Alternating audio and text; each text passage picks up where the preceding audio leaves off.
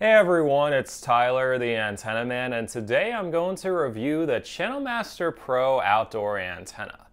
Channel Master claims that it's one of the best antennas out there, with very high made in the US build quality, UHF elements redesigned for repack frequencies, and optional VHF and UHF extensions to add even more gain. How well does it work?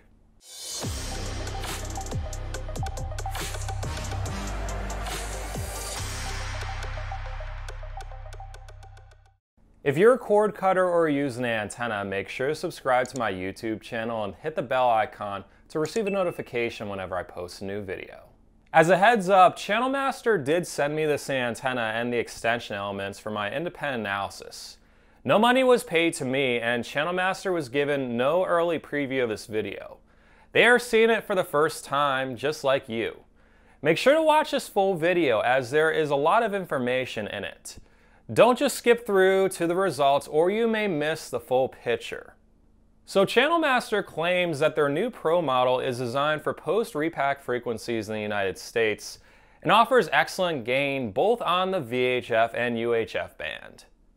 While I agree that the antenna is probably designed for repack frequencies on the UHF band, I'm a bit skeptical about the excellent gain claim as the size is pretty small. Without defying the laws of physics, a smaller antenna usually won't work as well as a larger antenna. However, VHF and UHF extensions can be added onto this antenna, which would definitely improve performance.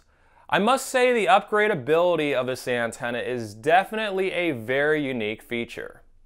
The build quality of this antenna is impressive. It's solid with very high quality metal all around, and it has some weight to it. Unlike most antennas on the market, this one is made in the US. The base model of the Channel Master Pro antenna, which you see here, appears to be more of a small directional antenna, optimized for the high VHF and UHF band. The VHF extension gives it low VHF capability, which I will be testing out on some low VHF channels later in this video. Channel Master claims a 70 mile range on this antenna. I find this to be a bit of an exaggeration, at least for the base model. Sure, a small antenna might get some TV stations from 75 miles away in the right location, but probably not in all locations. Areas far from the broadcast towers tend to be in heavily wooded areas where a larger antenna is needed to keep the signals reliable in changing weather conditions. I won't completely roast Channel Master on this range claim as many other antenna companies claim the same mileage range on smaller antennas. In general, a small directional antenna is best for fair to strong signal areas within 40 or 50 miles of the broadcast towers. To be clear, you should not buy an antenna solely on the mileage claim, but rather how the antenna is designed for TV frequencies and signal strength at your location. On the product page, Channel Master claims the antenna is low VHF capable with a picture of the base model Nexus information. This is false. The base model of the Channel Master Pro is not low VHF capable as the VHF element on it is not long enough. For low VHF, you need to buy the VHF extension, which is not made clear on the website. It should be noted that most areas do not have low VHF stations that broadcast on RF channels 2 through 6. Make sure to run a reception report on rabbitears.info to see what RF channels are in your area, as most TV stations do not broadcast in the RF channel they show on air. The RF channel of each TV station is in parentheses on the reception report. For example, in my area, CBS 3 actually broadcasts on UHF channel 30. Besides a few TV stations like 6ABC in Philadelphia, PBS in Boston, Providence, and Pittsburgh, most TV stations are on the high VHF and UHF bands. The majority of you do not need to worry about low VHF on the antenna. So will the Channel Master Pro still be able to pack a punch in a sleek and compact design? Let's find out. I tested it in the same location as a bunch of other outdoor antennas to see how it performs. Both the base model and extension elements will be tested. If you decide to purchase this antenna, be sure to use one of my affiliate links in the pin comp below or in the description of the video to help support my YouTube channel. Here are the results from the last two antennas I tested out on my YouTube channel.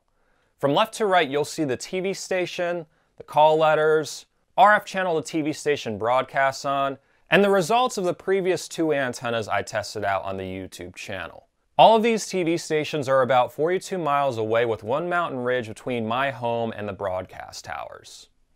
The signal on KYW, which broadcasts on UHF channel 30, was higher on this antenna than the McDuory antenna and about the same as the 5-star antenna. The extension elements didn't seem to change the numbers, but would probably keep the signal more stable in bad weather conditions. The signal on WCAU, NBC10, which broadcasts on UHF channel 28, was higher on this antenna than the last two antennas I tested out. The extension elements did bring up the signal level a little bit. The signal on WPHL, which broadcasts on UHF channel 17, was also higher on this antenna than the last two antennas I tested out. The extension elements didn't change the numbers, but again would probably keep the signal more stable in bad weather. The trend continues for the signal on WTXF, which broadcasts on UHF channel 31. It was higher on this antenna than the last two antennas I tested out. The extension elements did increase the signal level on this channel. Like most small antennas, the Channel Master Pro base model had trouble picking up WHYY on VHF channel 13. The extension elements did help stabilize the channel to the point VHF performance was comparable to a medium-sized antenna. The antenna actually was able to pick up WDPN on low VHF channel 2 with the VHF extension attached. Now for the moment everyone in the Philadelphia area has been waiting for on my YouTube channel. Was this antenna able to pick up the trash signal of 6ABC? Oh man, how I just love to call it that. The trash signal of 6ABC. Unfortunately, no. The antenna was not able to pick up the trash signal of 6ABC at all. I can confirm that other antenna models, including larger ones made by Channel Master, were able to pick up this station. However, I wouldn't blame the antenna for this as 6ABC has such a horrible trash signal. So much so that I called out parent company Disney in a separate video. The VHF extension on the antenna did the trick for the low VHF channel 2 in my area and should pick up 6ABC fine in fair to strong signal areas. So overall, the performance of this antenna was excellent for the size.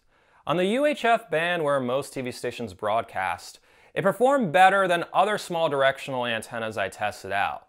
VHF performance was about the same as other small directional antennas, but as I said earlier in this video, you can't defy the laws of physics.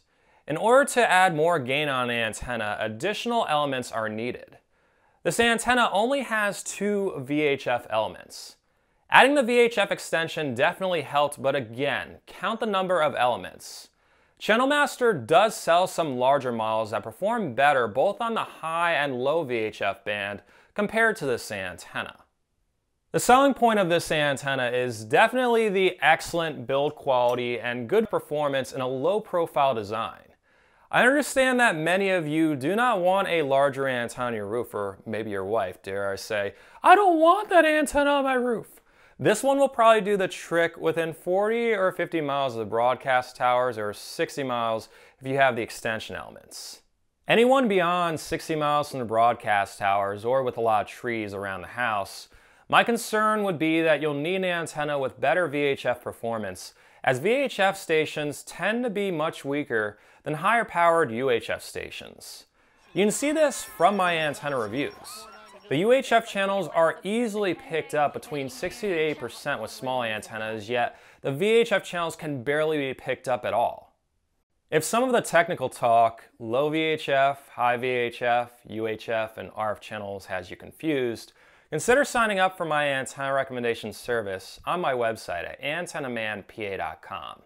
I run a reception report at your location, take a look at the frequency, signal strength, and even tree coverage Determine what antenna will work best for you based on my experience testing out over 100 antenna models and actually installing them in four different TV markets. Thanks again for watching this YouTube video.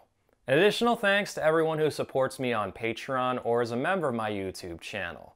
If my videos have helped you cut the cord or if you just think they're cool and would like to help support them while gaining exclusive perks, such as behind the scenes content, access to my videos ad free one day early, and direct contact with me, visit patreon.com forward slash antennaman or click the join button this video and you can also click the thanks button. This is a new feature YouTube just released. If you're on Facebook, you can like my Facebook page at facebook.com forward slash antennamanpa. If you're not on Facebook and would like to receive email updates whenever I post new videos, feel free to sign up to my email list. I include a link in the description of the video. Stay tuned to my YouTube channel for more cord cutting and antenna related videos and have an awesome day.